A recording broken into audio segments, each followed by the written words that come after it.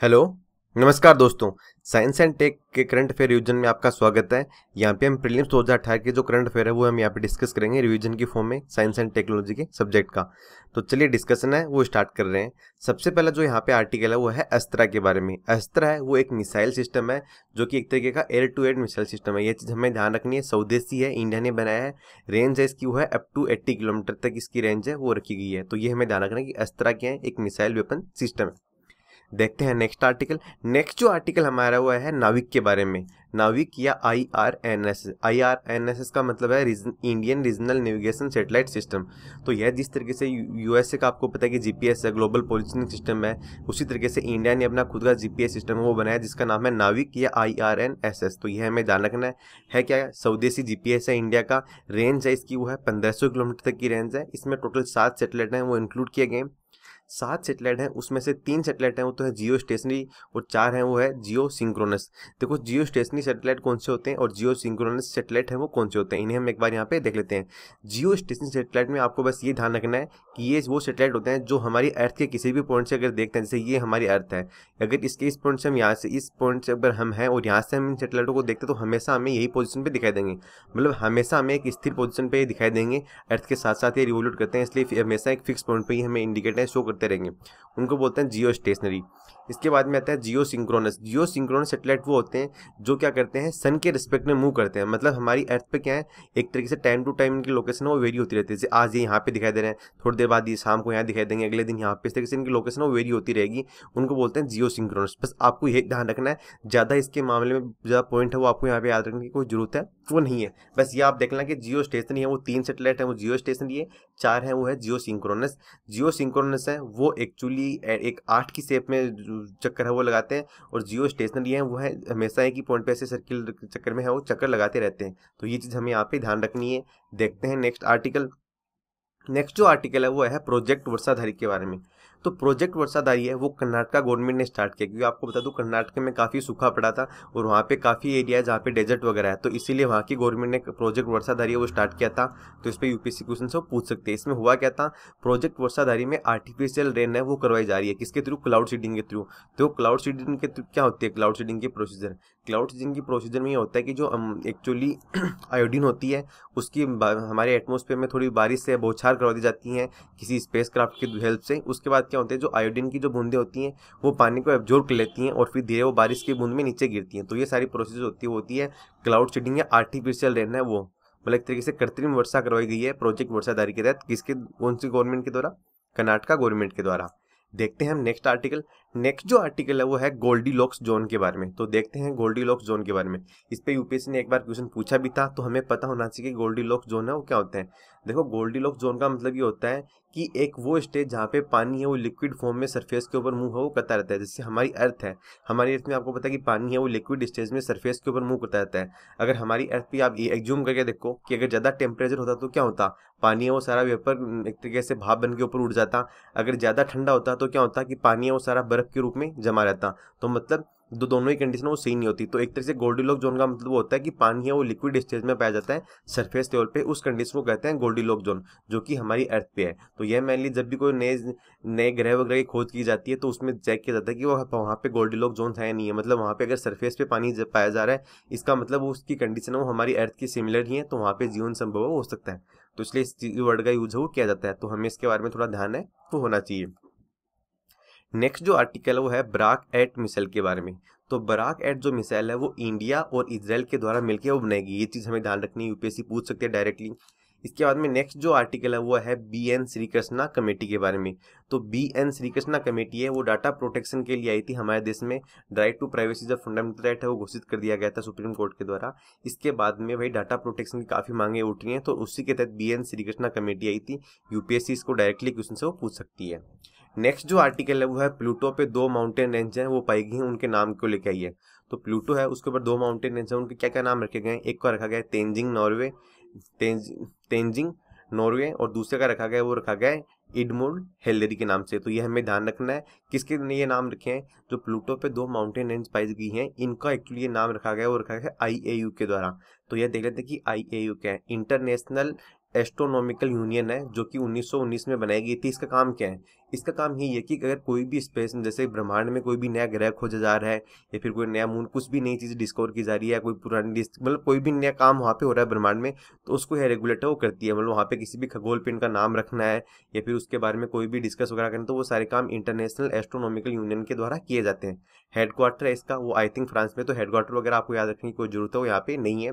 बस आप ये देख लेना कि एक इंटरनेशनल एस्ट्रोनॉमिकल यूनियन है, जिसका काम क्या है कि कोई भी जैसे नया ग्रह खोजा गया है, नया बेल्ट वगैरह खोजा गया है तो उसके बारे में जो भी डिसीज़न वगैरह लेने का काम होता है, वो सारा एस्ट्रोनॉमिकल यूनियन के द्वारा ही लिया जाता है। तो इसी ने अभी जो प्लूटो के ऊपर दो माउंटेन रेंज खोजी गई हैं, उनके नाम है, वो रखे हैं।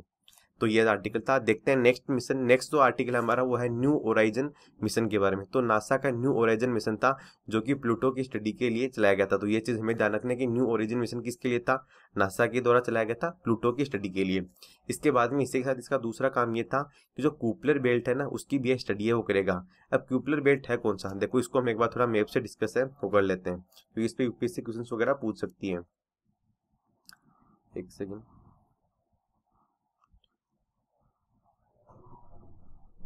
हाँ ये आप देखें यहाँ पे, जो ये हमारा एक्चुअली यहाँ पे नेपच्यून ग्रह इसके बाद में यहाँ पे प्लूटो प्लूटो आपको है कि अब ग्रह की लिस्ट में शामिल नहीं है। तो प्लूटो के बाहर का जो एरिया है, जो बाहर के हमें जो लाइन दिखाई दे रही है वाला, ये है, क्यूपलर बेल्ट यहाँ पे दिख रहा है जो आपको। इसके बाद में बात करते हैं हम, यहाँ पे एक और आता है बेल्ट, वो होता है एस्टोरेट बेल्ट। तो एस्टोरेट बेल्ट है, वो आता है मार्स और जुपिटर ग्रह के बीच में। तो ये हमें ध्यान रखना है, यूपीएससी में कन्फ्यूज़ कर सकती है कि एस्ट्रॉयड बेल्ट कहाँ पे है? तो एस्ट्रॉयड बेल्ट है, वो है मार्स और जुपिटर ग्रह के बीच में। इसके बाद से जो क्यूपलर बेल्ट है, वो है हमारे सोलर सिस्टम के एकदम आउटर साइड में मतलब जो नेपच्यून ग्रह है, उसके आउटर साइड में जो बेल्ट है, उसको बोलते हैं क्यूपलर बेल्ट। ये चीज़ हमें यहाँ पे ध्यान रखनी है। क्योंकि काफ़ी इंपॉर्टेंट हो जाता है यूपीएससी इनके बारे में पूछ सकती है। बाकी ग्रह हमें पता है, यहाँ पे मरकरी है वेनस है, इसके बाद हमारा अर्थ आता है मार्स आता है जुपिटर आ गया यहाँ पे यहाँ पे सेचुन आ गया, यहाँ पे यूनस आ गया और यहाँ पे नेपचून आ गया। प्लूटो आपको पता है कि अब ग्रह नहीं है, क्योंकि इसकी जो सर्किल है वो सही नहीं है जो घूमने की क्लास है वो प्रॉपर सही नहीं होने की वजह से आई ए ने इसे ग्रह के लिस्ट थे वो हटा दिया था। देखते हैं अब नेक्स्ट आर्टिकल नेक्स्ट जो आर्टिकल है एस्ट्रोइड बेल्ट के बारे में था, वो हमने यहाँ पे डिस्कस कर लिया कि एस्ट्रोइड बेल्ट है, वो मार्स और जुपिटर के बीच के जो जो अभी जो डिस्कस किया था हमने, जो लाइंस है, जो एक्चुअली एक तरीके से हिस्सा है, उसको एक्चुअली एस्ट्रोइड बेल्ट के नाम से जानते हैं। यहाँ पे काफ़ी धूमकेतु वगैरह वो रहते हैं तो इसलिए इसको एस्ट्रोइड बेल्ट है, वो है। नेक्स्ट जो आर्टिकल है, वो है कैसिनी मिशन के बारे में। तो कैसिनी मिशन है, वो एक्चुअली सेचुन जो प्लेनेट है, इसकी स्टडी के लिए नासा और यूरोपियन यूनियन के द्वारा चलाया गया था। और यह ध्यान रखना है कि यह जो कैसिनी मिशन है यह सेचुन प्लेनेट की स्टडी के लिए पहला कोई मिशन नहीं था। मतलब पहला मिशन नहीं था, इससे पहले भी और मिशन है, वो सेंड किए जा चुके हैं। इसी के साथ ही जो सेचुन जो ग्रह है, इसका एक मून है, जिसका नाम है टाइटन। तो टाइटन जो मून है, इसकी स्टडी भी यह करेगा। तो यह ध्यान यूपीएससी से पूछ सकते हैं कि टाइटन किसका मून है। तो भाई टाइटन है और सेचुन जो ग्रह है, इसका एक मून है। यह चीज़ हमें यहाँ पे रखें जैसे इंडिया, सॉरी, इंडिया का अर्थ का जो मून है, उसका क्या नाम है? चंद्रमा है, मून है। तो इसी तरीके से सेचुन जो ग्रह है इसका मून है, उसका नाम है टाइटन। तो उसकी भी स्टडी है वो कैसे नहीं स्टडी के द्वारा की है, वो की जाएगी।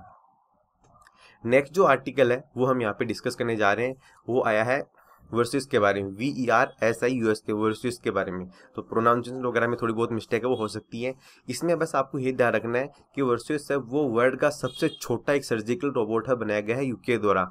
यूनाइटेड किंगडम में इस रोबोट को बनाया तो यूपीसी डायरेक्टली पूछ सकती है। खैर, इतना इंपॉर्टेंट तो नहीं है बट एक बार आप ध्यान रख लेना रिवाइज कर लोगे तो आई होप आपको एग्ज़ाम में टिक मार्क वगैरह करने में काफ़ी सहूलियत है, वो हो जाएगी। नेक्स्ट जो आर्टिकल है, वो है निसार के बारे में। तो निसार है, वो नासा और इसरो का एक सिंथेटिक अपेचर राडार है, जो कि 2021 में एक्चुअली लॉन्च है 2021 में इसको प्रॉपर ढंग से इम्प्लीमेंट हो, किया जाएगा? तो देख लेते हैं क्या, इसमें देखो निसार जो है, इसमें एक तो ये कि नासा और इसरो दोनों के द्वारा मिलकर इसको बनाया जा रहा है, इसकी एफिशिएंसी वो बहुत अच्छी होगी।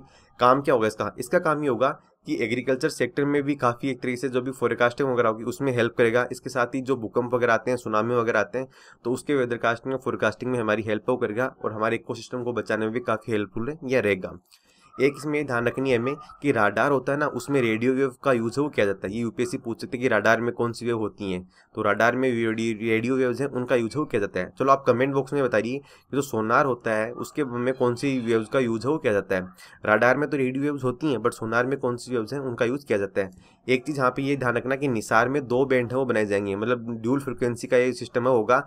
एक तो होगा इसमें एल बैंड और एक होगा इसमें एस बैंड तो एल बैंड है, वो नासा यूज़ करेगा और एस बैंड है, वो इसरो यूज़ करेगा। ये चीज़ हमें यहाँ पे ध्यान रखनी है, इसमें एकदम क्लियर रखना आप कि एस बैंड है, वो इसरो का है और एल बैंड है, वो है नासा का। बस ये चीज़ आप यहाँ पे कंप्लीट कर लेना और एफिशिएंसी ज़्यादा अच्छी होगी और इंडिया और इंडिया और सॉरी इंडिया और नासा दोनों के मिलकर द्वारा से बनाया गया है। नेक्स्ट जो आर्टिकल हमारा आता है, वो है नाविक सागर, नाविका सागर परिक्रमा के बारे में।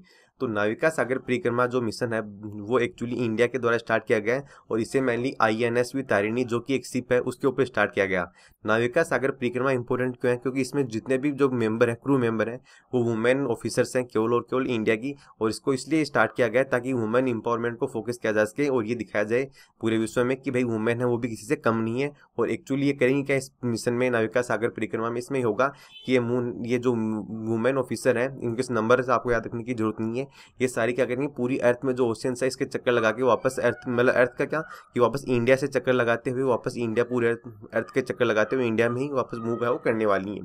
तो इसमें एशियन वुमेन का पहला एक crew women all all women crew mission है, ये चीज़ हमें यहाँ पे ध्यान रखनी है। I N S V Tarini है, वो इंपॉर्टेंट हो जाता है। I S N V Tarini क्या है? एक तरीके की व्हीकल है मतलब एक तरीके से सिप है, आप ये याद कर सकते हो। यूपीएससी पूछ सकती है कोई मिसाइल है क्या? है नहीं भैया, एक तरीके का सिप है, जिसको एक्चुअली नाविका सागर परिक्रमा प्रोजेक्ट में यूज़ है, वो किया जा रहा है। वो पूरी वुमेन स्टाफ है इसमें। देखते हैं नेक्स्ट आर्टिकल। नेक्स्ट जो आर्टिकल हमारा, वो है अर्थ ऑब्जर्वेशन माइक्रो सेटेलाइट के बारे में। तो कंटेक्स्ट यह कि इसराइल है, उसने एक वेन्यूस के ऊपर अर्थ ऑब्जर्वेशन माइक्रो सेटेलाइट है, उसको भेजा है। किस लिए? ताकि वेजिटेशन और जो इन्वायरमेंट मॉनिटरिंग है न्यू माइक्रो सेटेलाइट के द्वारा वो की जा सके। और किसके ने डिज़ाइन किया इसे फ्रांस और इसराइल दोनों ने डिज़ाइन है, वो किया है। तो ज़्यादा इंपॉर्टेंट तो नहीं है, क्योंकि इसमें इंडिया का कोई रोल नहीं इसलिए आपको ज़्यादा कुछ याद रखने की इतनी ज़रूरत नहीं है, बस न्यूज़ में था तो हमने इसे यहाँ पे इंक्लूड है, वो कर लिया है। नेक्स्ट जो आर्टिकल है, वो है मेगा वॉर गेम के बारे में। तो मेगा वॉर गेम है, वो एक जॉइंट एक्सरसाइज है आपको बता दूँ किस किस बीच में, इंडिया और रशिया के बीच में। तो यह ट्राई सर्विस है, फ़र्स्ट टाइम ट्राई सर्विस हो रही है। इससे पहले केवल यह आर्मी में होती थी, बट इस बार इसमें आर्मी, नेवी और एयरफोर्स तीनों जो हमारे देश की फोर्स है, वो उसमें इंक्लूड शामिल हो रही है, इंडिया और रशिया की। है ध्यान रखने की मेगा वॉर गेम है, वो इंडिया और रशिया से रिलेटेड है उसमें तीनों जो हमारी आर्मी एयरफोर्स नेवी है उसमें पार्टिसिपेट है, वो कर रही है। इसके साथ ही हम दो तीन एक्सरसाइज और हैं, वो भी यहाँ पे देख लेते हैं रसिया के साथ। जैसे कि एक इंदिरा एक्सरसाइज है। देखो, आप इन तीनों एक्सरसाइज को ऐसे याद रख सकते हो क्योंकि जहाँ भी इंदिरा नाम आ रहा है, वो एक्चुअली इंडिया की रशिया के साथ एक्सरसाइज है। जैसे इंदिरा एक्सरसाइज है, वो तो है इंडिया की आर्मी एक्सरसाइज रशिया के साथ। इसके बाद में आती है इंदिरा नेवी तो नाम से समझ रहा है कि इंदिरा नेवी आ गया मतलब नेवी की एक्सरसाइज है इंडिया और रशिया की। इसके बाद में एक आता है, वो आता है एविया इंदिरा एविया इंदिरा है, वो है एयरफोर्स की है इंडिया और रशिया की। तो जहाँ भी आपको इंदिरा नाम दिखाई दे वहाँ आप समझ जाना कि इंडिया की रशिया के साथ है। इसके बाद में आप बाकी ऑप्शन को याद रखना कि नेवी नाम आ रहा है तो ऑब्वियसली नेवी से है। नॉर्मली इंदिरा आ रहा है तो आर्मी से बाकी जो बचा हुआ है, वो है एयरफोर्स से। तो इस तरीके से आप इसको याद है, वो कर सकते हो। देखो हमें सारी एक्सरसाइज है वो अब ये तो नहीं आप रटने बैठोगे तो याद हो जाएगी बट आप ये कर सकते हो कि एक पेज पेन को नोट डाउन करके दीवार वगैरह पे चिपका के बस डेली है कि हर एक दो मिनट पूरे दिन में अगर एक, एक दो मिनट भी आप इनको रिवाइज कर लोगे पाँच छः दिन तो आपको ये दिमाग में सेट हो जाएँगी और फिर एग्ज़ाम में जो ही ऑप्शन सामने रहेंगे तो आप आराम से उनको एलिमिनेट वगैरह वो कर सकते हो। देखते हैं नेक्स्ट आर्टिकल नेक्स्ट जो आर्टिकल है वो है इंटरनेशनल टेली कम्युनिकेशन यूनियन के बारे में। तो इंटरनेशनल टेली कम्युनिकेशन यूनियन है वो है एक यूएन की स्पेशल एजेंसी है यह चीज़ हमें यहाँ पे ध्यान रखनी है। काम क्या होता है? ITU का काम ये है कि भाई जो भी टेक्निकल स्टैंडर्ड है ना वर्ल्ड के, इसके साथ जैसे सेटेलाइट है, उसको कौन सी ऑर्बिट में लॉन्च करना है, कौन सा सेटेलाइट कहाँ पे लॉन्च किया जा रहा है, कौन सी कंट्री के द्वारा, वो सारा काम ITU के द्वारा ही एक तरह से मॉनिटर और कंट्रोल हो किया जाता है। इसके साथ ही जो वर्ल्ड में जो भी स्पेक्ट्रम की नीलामी वगैरह स्पेक्ट्रम संबंधित काम होते हैं रेडियो स्पेक्ट्रम वगैरह के, वो एलोकेट वगैरह करने का काम है, वो भी इंटरनेशनल टेलीकम्युनिकेशन यूनियन है, वो ही करता है। ये ध्यान रखना कि यूएन की स्पेशलाइट एजेंसी है, यहाँ पे यूपीएससी घुमा फिरा के कन्फ्यूज़ कर सकती है। नेक्स्ट जो आर्टिकल है, वो है ब्रेन वेव प्रोजेक्ट के बारे में। तो ब्रेन वेव जो प्रोजेक्ट है, वो एक्चुअली माइक्रोसॉफ्ट का है। माइक्रोसॉफ्ट जो कंपनी है, उसका यह प्रोजेक्ट है, किससे रिलेटेड है, यह ध्यान रखना कि आर्टिफिशियल इंटेलिजेंस है जो जो कृत्रिम बुद्धि बुद्धि है, उससे है रिलेटेड है। बस आप इसमें ये चीज़ पॉइंट है, वो हमारे लिए है, बाकी इसमें कुछ इतना कुछ काम का नहीं। ब्रेन वेव समझ जाना कि माइक्रोसॉफ्ट का प्रोजेक्ट है, जैसे कि लूनर प्रोजेक्ट है, वो किसका लून प्रोजेक्ट है, वो किसका, आपको कमेंट बॉक्स में बताइए। प्रोजेक्ट लून है, वो किससे बिलोंग करता है। नेक्स्ट यहाँ पे आर्टिकल है, वो है कमो टू टू सिक्स टी के बारे में। कमोद 226 टी, यह एक चोपर एक तरीके से हेलीकॉप्टर है, जो कि रशिया के द्वारा बनाया गया और इंडिया ने अभी से इंपोर्ट है, वो किया है तो उसको लेके था। ज़्यादा कुछ इतना है नहीं तो आप इसको तो रहने देना बट ये ध्यान रखना कि ब्रेन वेव प्रोजेक्ट है, वो आर्टिफिशियल इंटेलिजेंस से रिलेटेड है और माइक्रोसॉफ्ट का है प्रोजेक्ट है। चलते हैं नेक्स्ट आर्टिकल नेक्स्ट जो आर्टिकल है हमारा, वो है कैंसूर फॉरेस्ट डिज़ीज़ के बारे में। तो कैंसूर जो फॉरेस्ट डिज़ीज़ है, इसको मंकी फ्यूर के नाम से भी जाना जाता है और अभी इसके कुछ केसेज हैं, वो गोवा में देखे गए हैं। तो यह कौन सी वायरस की वजह से होता है उसको देख लेते हैं यह इसकी जो वायरस है, उसका नाम वो देख लेते हैं, वो है फ्लेविराइड फैमिली से जो वायरस है, वो बिलोंग करता है। तो इस पर यूपीसी क्वेश्चन पूछ सकते हैं मंकी फ्योर और मंकी फ्योर का इंडिया में जो सबसे पहले जो केस है, वो देखा गया था कर्नाटका में। ये चीज़ हमें ध्यान रखनी है। और जो फ्लेविराइड जो फैमिली का जो वायरस है, यह एक्चुअली येलो फ्योर के लिए भी रिस्पॉन्सिबल होता है। इसके साथ जो डेंगू बीमारी होती है मच्छर के काटने से, उसके लिए भी यही यही जो वायरस है ये जिम्मेदार होता है। सबसे पहले आपको बताया कि कर्नाटका में इसके केसेस हैं, वो देखे गए थे। बस एक चीज़ आप ये ध्यान रखें जो मंकी फ्यूर है, वो साउथ एशिया की इंडेमिक बीमारी है ध्यान रखें कि यह नॉर्मली साउथ एशिया में ही पाई है, वो जाती है। यहाँ पे यूपीएससी का इंपॉर्टेंट क्वेश्चन है, वो बन जाता है। चलते हैं नेक्स्ट आर्टिकल की तरफ़। नेक्स्ट जो आर्टिकल हमारा, वो आया है युद्ध अभ्यास एक्सरसाइज के बारे में। तो युद्ध अभ्यास जो एक्सरसाइज है, वो इंडिया और यूएसए के बीच में है।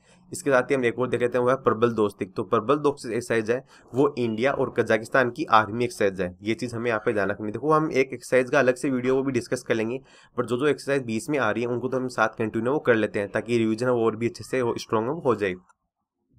नेक्स्ट जो आर्टिकल है, वो है जीवन बिंदी के बारे में। तो क्या है जीवन बिंदी इसे हम देख लेते हैं। देखो, वुमेन है, वो एक्चुअली अपने फोर हेड पे बिंदी का यूज़ है, वो करती हैं।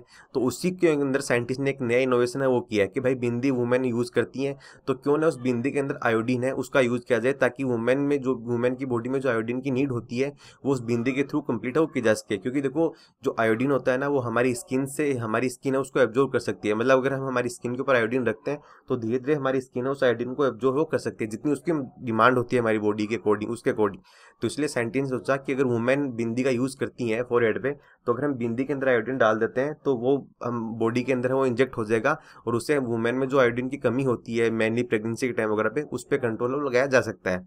इसलिए यह सिंगापुर की एक मार्केटिंग कंपनी है वो और महाराष्ट्र का एक एनजीओ है, उन दोनों ने मिलकर जीवन बिंदी, या मेनली इसे वर्मिलियन के नाम से स्टार्ट हो किया गया। तो ध्यान रखना कि जीवन बिंदी है क्या। आयोडीन की कमी के लिए है मैंने स्टार्ट किया गया। इसके बाद में अगला आता हुआ है नाग के बारे में।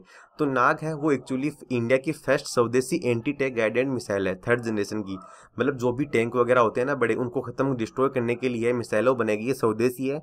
ये चीज़ हमें ध्यान रखनी है। इसका दूसरा नाम वो है प्रोपिना तो ये ध्यान रखना कि प्रोर पीना है, वो इसका दूसरा नाम है और इसी के साथ ये थर्ड जनरेशन का मॉडल है। अगर इसका देखा जाए तो नाकस जो फोर्थ जनरेशन का मॉडल है, जो कि अभी इसराइल के पास है इंडिया के पास नहीं है, वो है, उसका नाम है स्पाइक तो पहले ऊपर वाला आप याद रखना कि नाग वो क्या है? नाग एक एक्चुअली यहाँ पे इंडिया की स्वदेशी पहली एंटीटे गाइडेड मिसाइल है थर्ड जनरेशन की। चलते हैं अब नेक्स्ट आर्टिकल नेक्स्ट जो आर्टिकल हमारा वो है प्रलय सहायम के बारे में।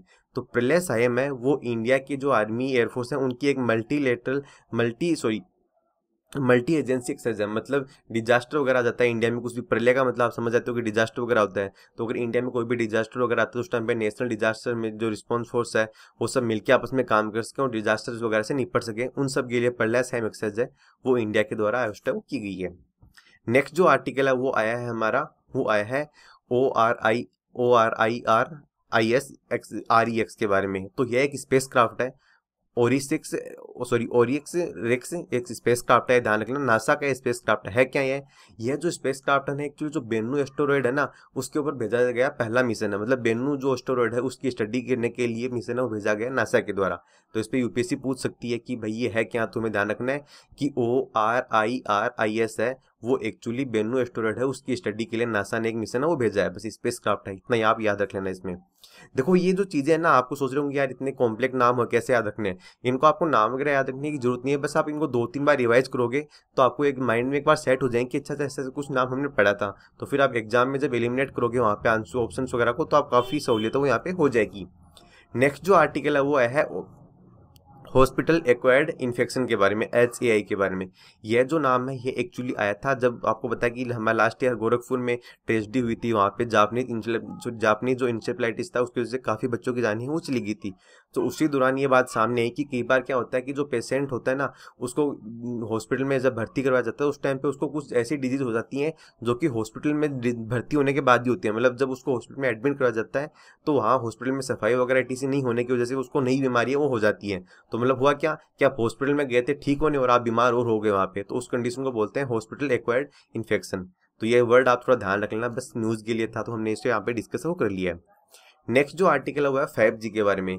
कि भाई इंडिया है वो फाइव के लिए बहुत एक तरीके से कसा मसीह मेहनत है वो कर रहा है और वायरलेस कम्युनिकेशन की है टेक्नोलॉजी है जो कि 2020 तक इंडिया इसको अडोप्ट है वो करने वाला है। मतलब 2020 तक एक्टिव फॉर्म में आ जाएगी और इससे इंटरनेशनल टेली कम्युनिकेशन यूनियन है उसने अपने स्टैंडर्ड बनाए हैं। जैसा कि हमने डिस्कस किया था अभी लास्ट थोड़ी देर पहले ही कि आईटी है वो एक, तरीके से यूएन की स्पेशल एजेंसी है जो कि स्पेक्ट्रम वगैरह हुआ या फिर जो वायरलेस कम्युनिकेशन वगैरह से डील है वो करता है। और इसमें जो मिनिमम स्पीड होगी होगी फाइव जी तो उसको लेके स्पीड वगैरह को सारा डाटा वगैरह है। तो स्पीड वगैरह आप याद रखने की कोई ज़रूरत है, वो नहीं है।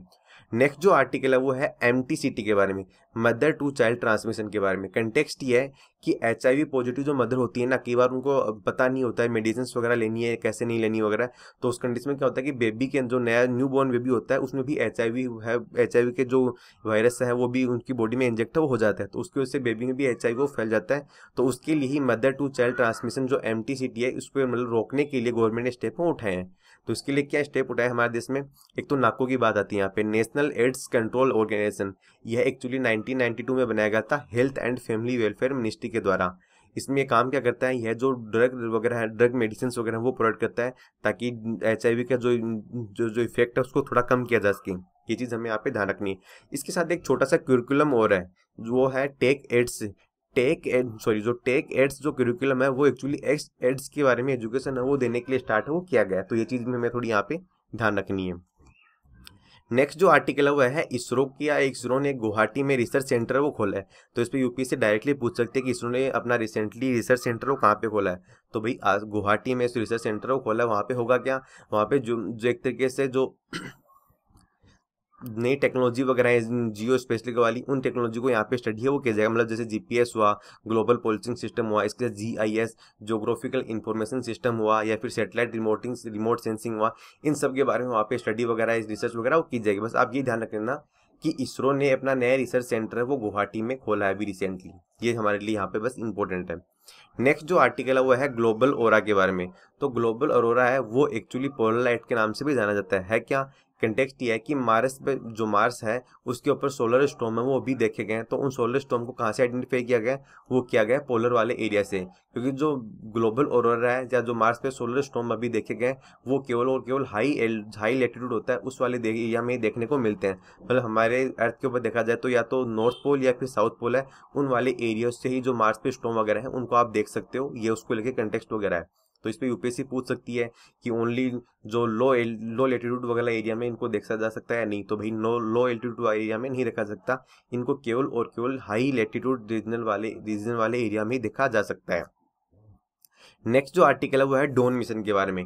तो डोन जो मिशन है, वो नासा का एक मिशन है, जो कि एस्टोरॉयड पर भेजा गया था कि एस्टोरॉयड की स्टडी वगैरह की जा सके। अब एस्टोरॉयड है कहाँ पे? जैसा हमने डिस्कस किया था कि मार्स और जो जुपिटर ग्रह है, उन दोनों के बीच में जो बेल्ट है, उसको बोलते हैं एस्टोरॉयड बेल्ट उस पर काफ़ी सारे एस्टोरॉयड है तो उन सबकी स्टडी के लिए डोन मिशन है, वो भेजा गया नासा के द्वारा। इसके साथ ही वहाँ पे एक बड़ा जो पिंड है जिसका नाम है सेरस सी ई आर ई एस तो सेरस है वो ला, एक लार्जेस्ट ऑब्जेक्ट बोल सकते हो एस्टोरेट बेल्ट में। उसकी स्टडी भी है करेगा तो यूपीएससी पूछ सकते हैं कि सेरस वगैरह कहाँ पे क्या तो ध्यान रखना है। सी ई आर ई एस सेरस है वो एक्चुअली एस्टोरेट बेल्ट में एक लार्जेस्ट ऑब्जेक्ट है और उसकी स्टडी के लिए नासा ने एक मिशन भेजा है उसका नाम है डोन मिशन ये ध्यान हमें रखना है। नेक्स्ट जो आर्टिकल है वो है खंडारी के बारे में। तो जो खंडारी है आईएनएस खंडारी के नाम से भी इसको जाना जाता है। तो यह एक्चुअली प्रोजेक्ट 75 के तहत एक सबमरीन है वो बनाई गई है इंडिया में। ये ध्यान रखना है कि जो स्कॉर्पियन क्लास के जो सबमरीन बनाई जा रही है इंडिया में उनकी पहली तो पहली सबमरीन नहीं है ये यह सेकंड सबमरीन है। स्कॉर्पियन क्लास की जो सबमरीन बनाई जा रही है सबसे पहली सबमरीन का नाम था वो था आई एन एस कलावरी ये ध्यान रखना है कि आई एन एस कलावरी थी, थी वो इंडिया की पहली स्कॉर्पियन क्लास की सबमरीन थी। सेकेंड जो स्कॉर्पियन क्लास की सबमरीन है उसका नाम है आई एन एस कंडारी तो ये ध्यान रखना है हमें। तो यह एक डीजल इलेक्ट्रिक सबमरीन यूपीएससी की बार स्टेटमेंट में दे देती है दो तीन में कि भाई एक तरीके से न्यूक्लियर एनर्जी से चलने वाली एक जो सबमरीन वगैरह है तो नहीं ये न्यूक्लियर एनर्जी से नहीं चलती है। नेक्स्ट जो आर्टिकल है, वो है आई एन सुकन्या के बारे में। आई एन सुकन्या है, वो एक पेट्रोल वेसल है मतलब ऑफ़ श्योर पेट्रोल वेसल का मतलब क्या हो गया कि जो कोस्टल एरिया में सिक्योरिटी वगैरह करने के लिए उस, एक तरीके से सिप है, उसका यूज़ है, वो किया जाएगा। और इसने भी इंडिया और इंडोनेशिया की एक एक्सरसाइज हुई थी, जिसका नाम है कोरपेट, ये ध्यान रखना की कोरपेट है वो इंडिया और इंडोनेशिया के बीच में नेवी एक्सरसाइज हुई थी, उसको नाम यहाँ पे दिया गया है। नेक्स्ट जो आर्टिकल है, वो है इंटरनल वाटर और टेरिटोरियल वाटर के बारे में। तो इसे थोड़ा हम यहाँ पे डिस्कस कर लेते हैं मैप की हेल्प से, क्योंकि इस पर यूपीएससी क्वेश्चन वगैरह कई बार पूछ लेती है। एक सेकेंड हाँ। देखो, जो भी हमारी जो भी हमारी कंट्री की जो बाउंड्री होती है ना, उससे बारह नोटिकल माइल वाला जो एरिया होता है ना, उसको बोलते हैं टेरिटोरियल सी मतलब वहाँ तक हमारे देश की टेरिटोरियल सी की बाउंड्री होती है। यहाँ पे हमारे पास कुछ राइट्स होते हैं कि भाई हम वहाँ पे जो भी खनिज लोन वगैरह पै रहे हैं, उनका यूज़ कर सकते हैं। इसके अलावा एक चीज़ यहाँ पे ध्यान रखनी है कि जो ट्वेल्व नोटिकल माइल जो का एरिया होता है टेरिटोरियल सी वाला, इस वाले एरिया में जो फॉरेन के शिप वगैरह होते हैं, उनको actually limited Maria limited area में एक्सेस मिलती है। मतलब वो वहाँ की गवर्नमेंट से परमिशन लेके ही वहाँ पे शिप वगैरह लेके जा सकते हैं। मतलब इंडिया के जैसे कोस्टल बाउंड्री है, वहाँ से बारह नोटिकल माइल का जो एरिया है, वो आएगा टेरिटोरियल सी वाला। इस वाले एरिया में अगर कोई भी दूसरी कंट्री का शिप वगैरह आ रहा है तो वो इंडिया से परमिशन लेके ही यहाँ पे कोई भी एक्टिविटीज़ वगैरह वो कर सकता है। इसके बाद में आता है यहाँ पे कॉन्टिन्यूस जोन तो कॉन्टिन्यूस जोन होता है, वो एक्चुअली टेरिटोरियल सी के भी आगे 12 नोटिकल माइल तक होता है। इस वाले एरिया में क्या होता है? इस वाले एरिया में भी जो स्टेट होता है, जो कंट्री होती है इंडिया हुआ, उसको स्पेशल राइट्स होते हैं कि वो यहाँ पे स्टडी वगैरह कर सकता है, वहाँ के जो मरीन रिसोर्सेज हैं, उनका यूज़ वगैरह कर सकता है। इसके बाद में बात आती है एक्सक्लूसिव इकोनॉमिक जोन तो एक्सक्लूसिव इकोनॉमिक जोन होता है, वो एक्चुअली हमारे जो बोर्ड कोस्टल एरिया होता है, उससे दो नोटिकल माइल तक होता है। ये चीज़ हमें यहाँ पे ध्यान रखनी है। और इस वाले एरिया में जो स्टेट होता है, उसको सारे राइट्स होते हैं कि भाई वो वहाँ पे आराम से रिसर्च वगैरह कर सकता है। नहीं भी जो भी कोई वहाँ पे मिनरल्स वगैरह उनको माइनिंग वगैरह सारे काम वो कर सकता है। तो ये कुछ बेसिक ध्यान रखना कि टेरिटोरियल सी है, उसकी लिमिट होती है होती है बारह नोटिकल माइन। एक कॉन्टिन्यूस जो जोन होता है, उसकी लिमिट होती है बारह नोटिकल माइंस प्लस बारह चौबीस नोटिकल माइंस तक। इसके बाद में आता है एक्सक्लूसिव इकोनॉमिक जोन जिसकी एक्चुअली लिमिट होती होती है दो सौ नोटिकल माइंस जोन तक। तो ये चीज़ हमें यहाँ पे ध्यान रखनी है। यूपीएससी की बात दे देगी कि भाई टेरिटोरियल सी में विदेश के सिप वगैरह आ सकते हैं, नहीं आ सकते तो आ तो सकते हैं बट केवल लिमिटेड एरिया में कंडीशन के साथ ही। तो ये यहाँ पे डिस्कस वो किया गया है। इंटरनल वाटर होता है, जैसे कि आप ये देखिए, ये जैसे इंडिया का साउथ वाला जो एरिया हुआ है। अब देखो, हुआ क्या? ये यहाँ पे सारा पानी वगैरह है। अब आप देखते हो कि यहाँ पे थोड़ा पानी है, वो यहाँ पे अंदर लैंड वाले एरिया में थोड़ा आगे आगे तक आया हुआ है। तो यहाँ पे होगा इंटरनल मतलब इंटरनल वाटर है। तो ये इसको बोलते हैं इंटरनल वाटर ये इसमें तो ऑब्वियसली जो कंट्री उसी की सारे राइट्स है, वो चलेंगे। टेरिटोरियल वाटर से बताया कि यहाँ पे जो बाउंड्री है, इसे बारह नोटिकल माइल तक का एरिया होता है, वो होता है टेरिटोरियल वाटर और फिर जो आगे कॉन्टिन्यूस जो जोन होता है, वो होता है बारह नोटिकल माइल से आगे का बारह नोटिकल माइल और होता है। तो कुल मिला मतलब हमारे कोस्टल एरिया से स्टार्टिंग से लेकर आज तक 24 नोटिकल माइल तक को बोलते हैं। एक तरह से कॉन्टिन्यूस जोन और इसमें स्टेट का एरिया लिमिटेड होता है मतलब वो पोल्यूशन वगैरह से संबंधित रूल बना सकता है या फिर कोई टैक्सेस वगैरह लगा सकता है या फिर इसी के साथ जो जो इमिग्रेशन वगैरह से संबंधित कोई रूल वगैरह, वो बना सकते हैं। तो इसके बारे में कुछ बेसिक चीज़ें थी। एक्सक्लूसिव इकोनॉमिक जोन होता है, वो होता है 200 नोटिकल माइन तक, और इसे United Nation Convention on law on seas है, उसके द्वारा इसे बनाया गया है। इसमें यह प्रावधान किया गया है कि भाई स्टेट है, उसके पास स्पेशल लाइट होते हैं, वो यहाँ पे माइनिंग वगैरह कुछ भी वो कर सकता है। बस उसके पास कुछ परमिशन वगैरह की ज़रूरत है, वो होती है। इसके बाद में अगला जो आर्टिकल है, वो है वरुणा एक्सरसाइज के बारे में। तो वरुणा जो एक्सरसाइज है, वो एक नेवी एक्सरसाइज है, जो कि इंडिया और फ्रांस के बीच में है। इसी के साथ जो मित्र एक्सरसाइज है मित्र शक्ति एक्सरसाइज है, वो एक्चुअली इंडिया और श्रीलंका के बीच में तो ये आप ध्यान रखना। देखो जो जो कंट्रीज़ के साथ इंडिया के रिलेशन अभी सुर्खियों में रहते हैं ना, जैसे कि इंडिया और श्रीलंका के रिलेशन की बात थी इंडिया और मालदीव के बीच में तो जो जो चीज़ें न्यूज़ में ना, उनके बारे में जो एक्सरसाइज है, वो आप ध्यान रखना, कि यूपीएससी उनके बारे में पूछने के चांसेस है, वो ज़्यादा होते हैं। तो इसलिए आप इन चीज़ों को बार बार रिवाइज करोगे, तभी चीज़ें जैसे क्लियर है, वो होंगी। नेक्स्ट जो आर्टिकल है, वो है प्रोक्सीमा सेंचुरी के बारे में। तो प्रोक्सीमा सेंचुरी है, वो एक्चुअली एक क्लोजेस्ट स्टार है सन का। देखो, हमारे जो सोलर सिस्टम है, इसमें आपको पता है कि सन भी एक स्टार है। तो सन के पास में जो और भी नियरेस्ट स्टार देखोगे तो वो है प्रोक्सीमा सेंचुरी है। यूपीएससी पूछ सकती है कि सन के पास में दूसरा स्टार कौन सा? तो वो है प्रोक्सीमा सेंचुरी सबसे क्लोज है सन के। ये चीज़ यहाँ पे हमें ध्यान रखनी है। इसके बाद में एक वर्ड आता है यहाँ पे एक्सो प्लेनेट एक्सो प्लेनेट का मतलब वो होता है कि वो प्लेनेट जो अर्थ की तरह ही होते हैं, बस हमारे सोलर सिस्टम का पार्ट नहीं होते हैं। क्योंकि हमारे सोलर सिस्टम में आपको पता है कि हमारे सोलर सिस्टम में आठ ग्रह है मेनली इसके साथ सन एक जो हमारा मैन सन है, वो भी एक वहाँ पे स्टार ही है। मतलब एक सन है, इसके बाद में आठ जो ग्रह है, वो है। तो ये हमारा कुल मिला के कंप्लीट सोलर सिस्टम होता है। वहीं पर देखा जाए तो एक्सो प्लेनेट वो प्लेनेट होते हैं जो होते तो सेम अर्थ की तरह ही है बट वो हमारे सोलर सिस्टम का पार्ट नहीं है, वो किसी दूसरे सोलर सिस्टम का पार्ट होते हैं तो उनको बोलते हैं प्लेनेट नेक्स्ट यहाँ पे आर्टिकल हुआ है एक्सरसाइज ब्लू फ्लैग के बारे में। तो एक्सरसाइज जो ब्लू फ्लैग है, वो एक बाई एनुअल मल्टीलेटरल एक्सरसाइज है इंडियन एयरफोर्स और इसराइल की एयरफोर्स के बीच में। तो यह ध्यान रखना है क्योंकि इंडिया और इसराइल के लेसन आजकल काफ़ी सुर्खियों में रहते हैं।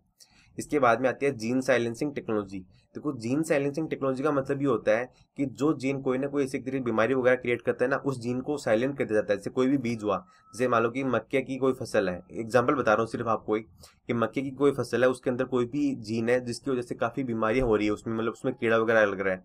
तो क्या करेंगे साइंटिस्ट को, उस जीन को साइलेंट कर देंगे। मतलब उस जीन को निकाल के बाहर नहीं फेंक रहे हैं मक्के के बीज से। उस जीन को मक्के के बीज में रहने दे रहे हैं, बस उसको साइलेंट कर देते हैं कि भाई तू कोई भी काम नहीं करेगा। उससे मतलब एक तरीके कहते हैं कि तू चुप रहेगा, तू कोई कोई भी काम नहीं करना है, उसको मतलब एक तरीके से साइलेंट कर देते हैं तो उसको बोलते हैं जीन साइलेंसिंग टेक्नोलॉजी मतलब इसमें जीन को साइलेंट मोड पे पहुँचा दिया जाता है। उसके बाद वो कोई भी एक्टिविटीज़ वगैरह, कोई भी जो भी गलत काम करता है, एक तरीके से जो भी कोई नुकसान पहुंचाता है, उसको वो नहीं पहुंचाएगा। तो उसको बोलते हैं जीन साइलेंसिंग टेक्नोलॉजी नेक्स्ट जो आर्टिकल है वो है स्पेस एक्टिविटीज़ बिल 2017 के बारे में।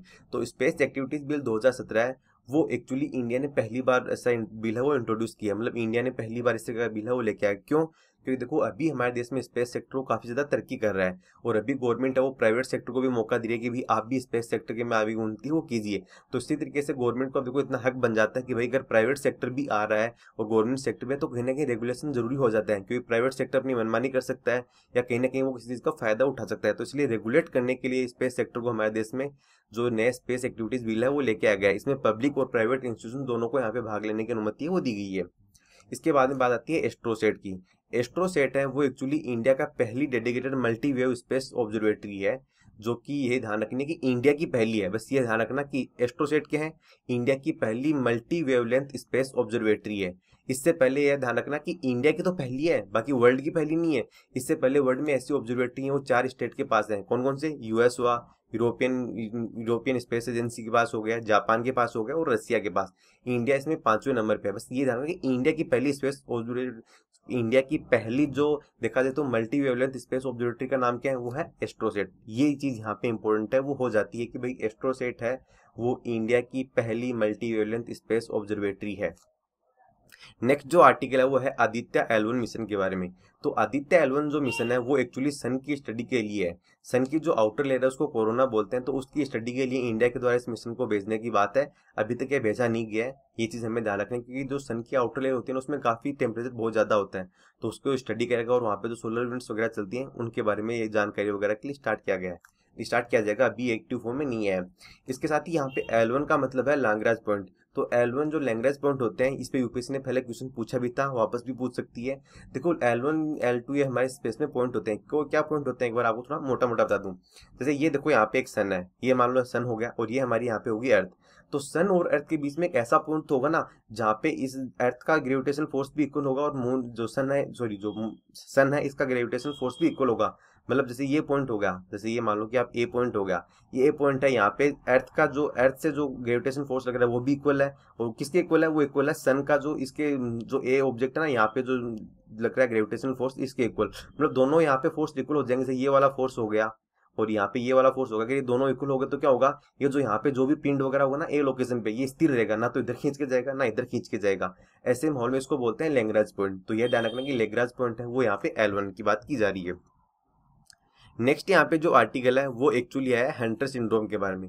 तो हंटर सिंड्रोम आप ये ध्यान रखना कि होता क्या है? हंटर सिंड्रोम में ही होता है कि हमारी बॉडी की जो शुगर है ना, वो ब्रेक डाउन नहीं होता है। क्योंकि आपको बता दूँ कि बॉडी में होता क्या जैसे हम कोई शुगर वगैरह चीज़ लेते हैं तो शुगर क्या होती है ब्रेक डाउन होती है और उससे एनर्जी वगैरह बनती है फ्रक्टोज वगैरह के थ्रू बट अगर शुगर ब्रेक डाउन नहीं होती क्यों नहीं होती है? क्योंकि वो हंटर सिंड्रोम क्या होता है बॉडी शुगर को ब्रेक डाउन नहीं होता है। तो उस कंडीशन में जो शुगर होती है, वो कहीं ना कहीं हमारी बॉडी को नुकसान पहुँचाने लग जाती है और जो हड्डियाँ होती हैं, उनको गलाना शुरू कर देती है।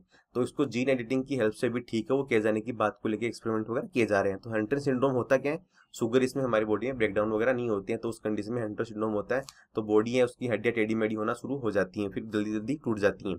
तो ये थी हमारी डिस्कशन फ़िलहाल की डिस्कशन में इतना ही है। Thank you very much for discussion